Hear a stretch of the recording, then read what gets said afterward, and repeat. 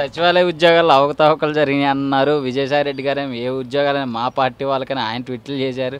అసలు ఎంత ఎంతవరకు కరెక్ట్ ఏంటి? ఇదంతా కూడా ఎవరి దాని ఇష్టం అండి పైన మోడీ గారు ఉన్నంత వరకు కూడా మన ఆంధ్ర ఆయన చేతుల్లో చెప్పినట్టుగానే నడవాలి. విజయసాయి రెడ్డి గారు ఇంకొద్దిగా గట్టిగా వాయిస్ మాట్లాడితే రెండోసారి ఆయన మాట్లాడడానికి ఉండడు. మొన్న జగన్ మొన్న చంద్రబాబు నాయుడు గారు మాట్లాడారు ఏం జరిగిందో పరిస్థితి చూశారు కదా? ఇప్పుడు ఇవన్నీ కాదండి పథకాలు అవసరం లేదండి. జగన్ గారు చేయవలసిన ముఖ్యమైన పని ఏంటంటే మన పోలవరం మన ఆంధ్రాకి పోలవరం జీవనాడి ఎలాగైతే ఉందో అలాగా జీవనాడి లాంటి వ్యవస్థ మొత్తాన్ని ఆపేసింది ఇసుక.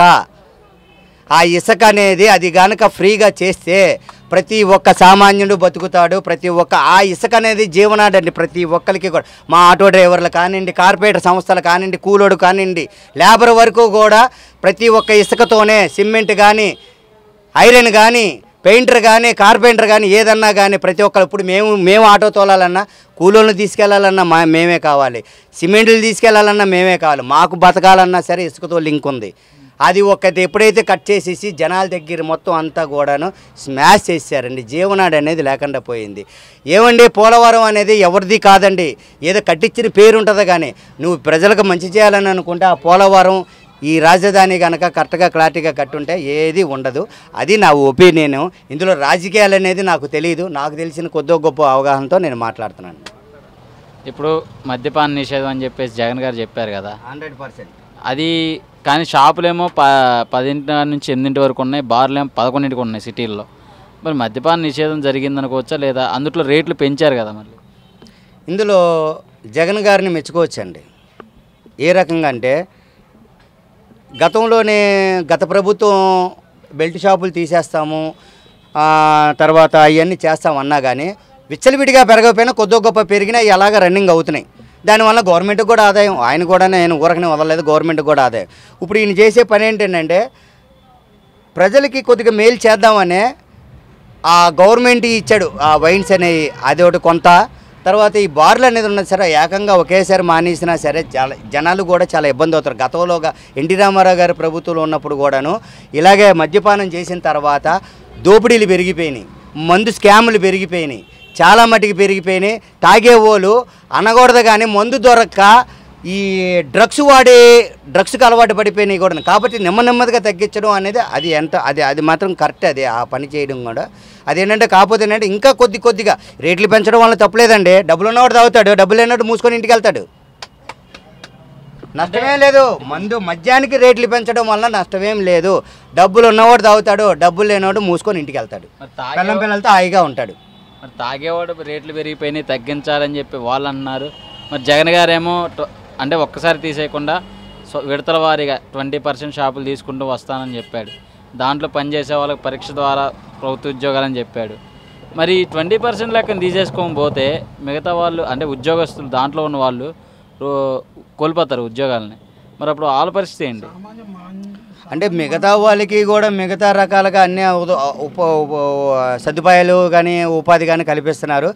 ఆ మద్యం విషయంలో మాత్రం ఆయన మాత్రం ఒక స్టెప్ ముందుకేసినట్టేనండి గత ప్రభుత్వం మీద. అది మాత్రం హండ్రెడ్ పర్సెంట్ యాడ్సప్ అది ఎందుకంటే ఇంకా పూర్తిగా కూడా అంచెలంచెలుగా తీసేస్తే ఏం లేదండి. ఉన్నవాడు ఎంత తాగినా కానీ కరగదు. వాడు ఒక్కడే తాగుతాడు. ఒక వెయ్యి రూపాయలు బాటిల్ పెట్టుకొని. లేనివాడు పది మందిని తీసుకెళ్ళి తాగుతాడు. వీడికి ఆ వెయ్యి రూపాయలే కాదు పదివేలు అవుతాయి ఉన్నవాడు తాగితే వెయ్యి వంద రూపాయలు వెయ్యి రూపాయలు అవుతుంది.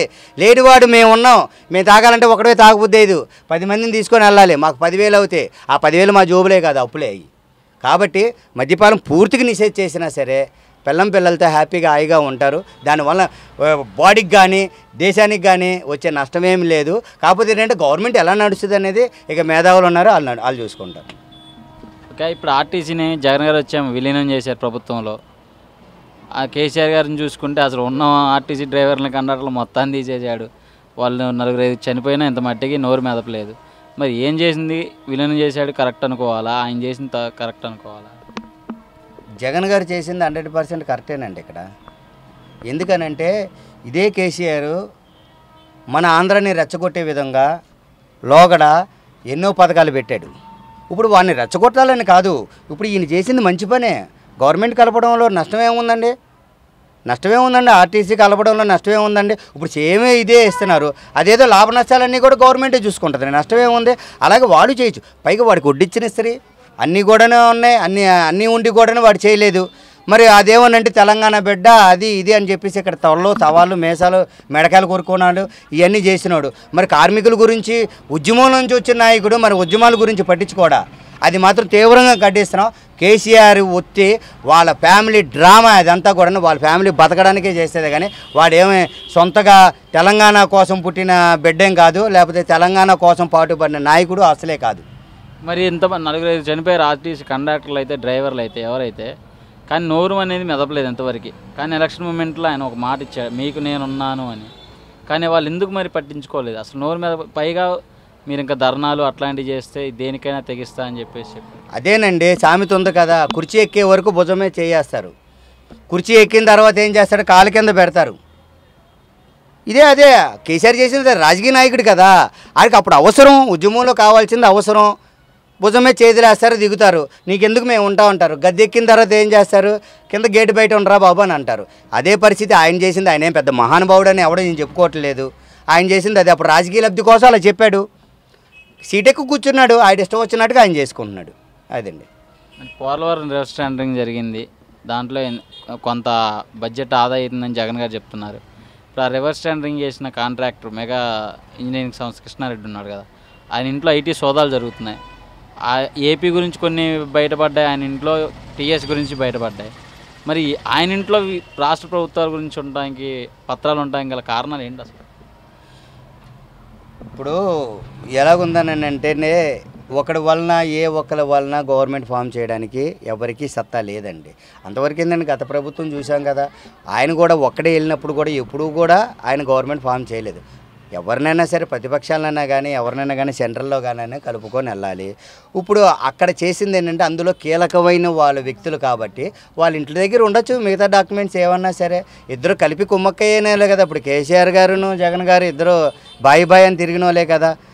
పొత్తులు పెట్టుకున్నవాళ్ళే కదా. ఏదైనా ఉంటే ఉండొచ్చు. అది దానికి ఆ రాజకీయం గురించి ఇక అంతకు మాకు అంతగా అవగాహన అయితే లేదు. మ్యాటర్ అయితే అది. వైఎస్ఆర్ రైతు భరోసా నుంచి జగన్ గారు పిఎం కిసాన్ సేవ రై- భరోసా రైతు భరోసాగా మార్చారు కదా. ఎందుకు అసలు? దానికి కారణాలు ఏంటి? అంటే మెప్పు పొందడం కావచ్చు లేక ప్రధానమంత్రి గారి దగ్గర ఇంకా ఏమన్నా రాష్ట్రం కోసం నిధులు రాబట్టుకోవడం కోసం అనుకోవచ్చా? దే ఏ విధంగా? ఇప్పుడు అది నిన్న చూసామండి పేపర్లోని. రైతులకు ఇచ్చే దాని గురించి కేంద్రం కూడా ఆరు వేలు సహాయం చేస్తుంది కాబట్టి కేంద్రం కూడా పెట్టాలండి. ఎందుకంటే అండి అది కానీ పెట్టలేదనుకోండి చంద్రబాబు నాయుడు గారికి పట్టిన కతే ఇనికి పట్టుద్ది. నిధులు రాబట్టుకోవడం అనేది కేంద్రం దగ్గర నుండి మన ఏపీకి ఎవరు కూడా ఇచ్చే ప్రసక్తి లేదు. కాబట్టి కొద్దో గొప్ప పెట్టకపోయినా సరే కక్ష సాధింపు ఉండదు ఉండకపోవచ్చు కదా అని అన్న ఉద్దేశంతోనే ఆయన పేరు పెట్టుకున్నారండి. అదండి. రాజకీయ లబ్ధి కోసమే. కాపులకు ఫైవ్ పర్సెంట్ ప్రకటించాడు చంద్రబాబు. ఆయనేమో ఫైవ్ పర్సెంట్ ప్రకటిస్తేనే ఇంకా కావాలి ఇంకా కావాలని చెప్పి కాపు నాయకులు మంచిగా గొడవలు చేశారు. మరి ఆయన వచ్చాక ఉన్న ఫైవ్ పర్సెంట్ కూడా ఎత్తేసాడు కదా. మరి ఎంతమందికి ఎందుకు బయటికి రాలేదు ఎవరు? రాజకీయం అండి. రాజకీయం నచ్చితే ఒకలాగా అప్పుడు గుర్తుకొస్తే కష్టాలన్నీ. నచ్చకుండా భుజమే చేశారనుకున్న నాయకులు. ఏమండి ఎవరేమన్నా కానీ అమాయక ప్రజలే. ప్రజల అమాయకులు రాజకీయ నాయకులంతా కూడా వాళ్ళ లబ్ధి కోసం చూస్తారు. అది ఇంక అంతకు మించి ఇక ఆ రాజకీయం అనేది ఇక మీరే అర్థం చేసుకోవాలి. మీ దీనికే వదిలేస్తాం మరి ఇలానే ఉంటే జగన్ చెప్పిన నవరత్నాలు అన్నీ అమలు చేస్తాడా? రాష్ట్రం రో బడ్జెట్లో ఉందని చెప్తున్నారు. చంద్రబాబు అందజేసినా ఏమి చేయలేదని చెప్పారు. మరి ఏం చేస్తాడు అనుకోవచ్చా నవరత్నాలు అనేవి? నవరత్నంలో మా వాహన మిత్ర రత్నం అనేది ఒకటి మెరుస్తుందండి. మిగతా రత్నం అనేది మాత్రం ఇక ఏం జరుగుతుందా ఎలా జరుగుతుందా అనేది అది మనం రేపు జరగబోయేది వాళ్ళు మనం ఎవరూ కూడా గెస్ట్ చేసి చెప్పలేము కదా. ఉన్న వాళ్ళల్లో నవరత్నాల్లోనే ఇది ఒకటి మాత్రం హండ్రెడ్ హండ్రెడ్ పర్సెంట్గా సక్సెస్ఫుల్ చేశారు. ఇది అన్నమాట ప్రకారం ఇచ్చారు. కానీ అది ఎలా వాడకం అనేది గతంలో మీకు ముందే చెప్పాను నేను. మా డ్రైవర్ సోదరులందరూ కూడా ఏ రకంగా ఉపయోగించుకున్నారు ఏంటి అనేది అయితే ఇది మాత్రం సక్సెస్ అయ్యింది మిగతాదంటారా? మరి ఆ మిగతా రత్నాలు ఎలా మెరుస్తాయి అనేది రాను రాను రాబోయే రోజుల్లో చూడాలి. చూసుకున్నట్టయితే గత ప్రభుత్వం ఎలా అనిపించింది? ఈ ప్రభుత్వం ఇప్పుడు వచ్చి నాలుగు నెలలు అవుతుంది. ఇప్పటి వరకు ఎలా ఉంది? ముందు ముందు ఎలా ఉండబోద్ది అనుకుంటున్నాను ఒకటండి ఈ గవర్నమెంట్ వచ్చిన తర్వాత ఏదన్నా కానీ పేద ప్రజలు ఫ్రీగా బతుకుతారన్న ఒక భరోసా మీద మాత్రం అందరూ ఓటేశారండి. అది హండ్రెడ్ పర్సెంట్ కరెక్ట్. అదే రౌడీ రాజ్యం అది ఇది అని అన్నారు కానీ అది గా పెద్ద ఊహగా వచ్చింది కానీ అది ఆ సిచ్యువేషన్లు అయితే ఎక్కడా లేవు. వేధింపులు అయితే ఏం పెద్దగా లేనట్టుగానే కనబడుతుంది. లేకపోతే ఈ పాటికి ఏదో జరుగుతూ ఉంటాయి. అవి కూడా లేవు. బాగానే ఉంది. కాకపోతే ఏంటంటే ఈ ఇసుక అనేది ఆపడం వలన ప్రజలు డబ్బులు లేక చాలా ఇబ్బంది పడుతున్నారు. అది ఒక జీవనాడి కాబట్టి మనకు హార్ట్లోని గుండె ఎలాగ ముఖ్యమో ఆ ఇసుక అనేది ముఖ్యం కాబట్టి ఆ ప్రజలకి అది ఒకటి దానివల్ల ఇబ్బంది పడుతున్నారు. కానీ మిగతాది ఏదో రౌడీ రాజకీయం రౌడీ రౌడీల రాజ్యం తర్వాత మిగతా అదంతా కూడా ఉత్తి. ఇది ఏమండి ఇదివరకు పిచ్చి రోజులండి రౌడీజం అనేది ఇది. ఇవాళ ప్రజలందరూ కూడా అప్డేట్ అయ్యారు. ఎవరి కాలు కూడాను ఉత్తిన రాజకీయాలు అంటే ఒకటి గ్రూపుగా చేస్తే ఏమైనా చేయాలి రాజకీయంగా చేస్తే చేయాలి. కానీ ఇప్పుడు ఇదివరకులాగా వచ్చి రౌడీజంగా మేము రౌడీని ఇది అని అంటే వాళ్ళ ప్రజలు కూడా ఎవరు ఒప్పుకోరు. దానికి ఎవరు కూడాను దానికి తగ్గట్టుగా చేస్తే చేస్తారు. చంద్రబాబు గారేమో అన్న క్యాంటీన్లు పెట్టారు. జగన్ గారు వచ్చాక మూసేశారు దాన్ని. మళ్ళీ ఆయన సెప్టెంబర్లో తెరుస్తా ఉన్నారు. ఇంతవరకు తెరవలేదు. పేదవాడు అనేవాడు ఒక కడుపు నిండా భోజనం చేశాడు ఐదు రూపాయలకి. ఇప్పుడు అవి కూడా లేక పనులు లేక చాలా ఇబ్బంది పడుతుందని చెప్తున్నారు. దాన్ని ఎంతవరకు కరెక్ట్? అంటే ఉంచడం కరెక్టా? తీసేయడం కరెక్టా? ఈ అన్నా క్యాంటీన్ అనేది నిజంగా చెప్పాలని అంటే ఒక్క సలహా చేస్తే బాగుంటుంది. ఎప్పుడైనా సరే రాజశేఖర రెడ్డి గారు గతంలో చేసిన ఈ ఆరోగ్యశ్రీ కార్యక్రమం ఉంది చూసారా? అది ఎంత సక్సెస్ఫుల్ అయిందో. దాన్ని చంద్రబాబు నాయుడు కూడా తీయలేదండి. ఎన్టీఆర్ ఆరోగ్యశ్రీ అని చెప్పేసి అని పేరు మార్చి పథకం రన్నింగ్ చేశారు. దానివల్ల జనాలందరికీ కూడా ఉపయోగం. కొన్ని కొన్ని ఉంచారో తీశారో అది మిగతాది. ముందు ఏదన్నా కానీ రన్నింగ్ అవుతుంది. కానీ పూర్తిగా తీయలేదు. ఇప్పుడు ఈ అన్నా క్యాంటీన్ అనేది పెట్టండి. పేరు మార్చి మీ పేరు మీద పెట్టండి. దానివల్ల చాలామందికి మాలాంటి ఆటో డ్రైవర్లు కూడా ఉపయోగపడిందండి. ఎందుకనంటే మా ఇళ్ళల్లోనే ఎవరైనా ఊర్లో వెళ్ళినప్పుడు మేమే గబాలను ఎక్కడికైనా వెళ్తాం. ఏదో కిరాకి అన్నం దొరకదు? అన్న క్యాంటీన్ దగ్గరికి వెళ్ళి ఐదు రూపాయలు ఇచ్చి కడుపు నిండా భోజనం చేసిన సందర్భాలు ఉన్నాయి. అందులో నేను తిని ఉన్నాను. అది మాత్రం తీసేసేయడం అనేది అది చాలా అది మాత్రం కరెక్ట్ కాదు అని నా ఉద్దేశం. పరిపాలన గురించి ఒక్క దాన్ని మాటలో. పరిపాలన గురించి ఒక్క మాటలో చెప్పాలంటే ఎలా ఉండవు పరిపాలన అనేది ఏంటంటే అదేమనంటే వంద రోజుల్లో మేము చూపిస్తాం ముఖ్యమంత్రి మంచి ముఖ్యమంత్రి బెస్ట్ సీఎం. బెస్ట్ సీఎం అని అనిపించుకున్నా. మరి వెయిట్ చేయాలి చూడాలి. మరి రాను రా రాబో రాబోయేందండి రాను రాను మరి ఏదే ఒక్కొక్కటే ఒక్కొక్క రత్నం. ఇప్పుడు చూడండి మా ఆటో రత్నం వాహనమిత్ర అనేది బాగా మెరుస్తుంది. అది హండ్రెడ్ హండ్రెడ్ పర్సెంట్ సక్సెస్ఫుల్ అది. ఇక తర్వాత మిగతా ఇప్పుడు ఏమంటున్నారైనా రేపు ఉగాదికి ఇల్లు లేదో ఇస్తానని అంటున్నారు. మరి ఆయన పేర్లు మార్చో లేకపోతే ఏదన్నా కానీ చేసి అలాంటివన్నీ సక్సెస్ఫుల్ చేశారనుకోండి మొన్న మాకు ఈ పదివేలు ఇచ్చేటప్పుడు కూడా చెప్పారు.